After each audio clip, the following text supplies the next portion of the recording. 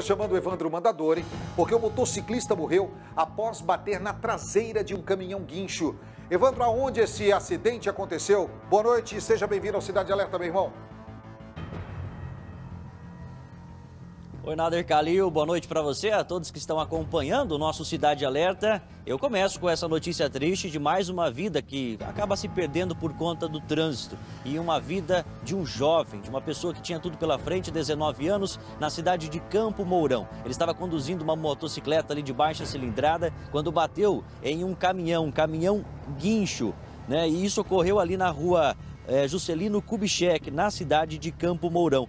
Ah, tudo estava sinalizado. A gente percebe que o caminhão pesado ali estava sinalizado, tinha sinalização, mas chovia bastante no momento em que ele acabou batendo e infelizmente sofreu a morte instantânea. Morreu na hora ali o Paulo Pinheiro dos Santos Filho, como eu disse, de apenas 19 anos. O socorro foi acionado, mas nada pôde ser feito e ele, com toda uma vida pela frente, acabou morrendo na hora, logo após a colisão. Nossos sentimentos para a família lá em Campo Mourão, nada.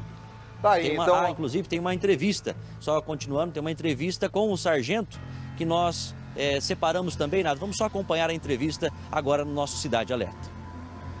Ao chegar no local, eh, infelizmente já encontramos a, o rapaz ali sem vida. Foi isolado o local, acionado primeiramente o SAMU para constatar realmente né, o óbito ali, posteriormente é acionado o IML.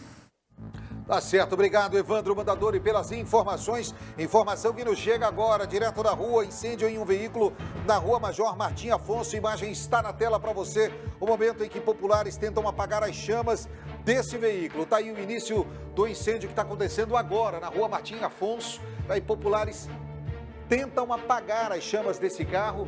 Nesse momento, o incêndio acontecendo, equipes do Corpo de Bombeiros foram acionadas. Já já a gente traz novos detalhes para você. Repito, esse incêndio, esse veículo acontecendo agora na rua Major Martim Afonso. Tá aí os detalhes dessa ação.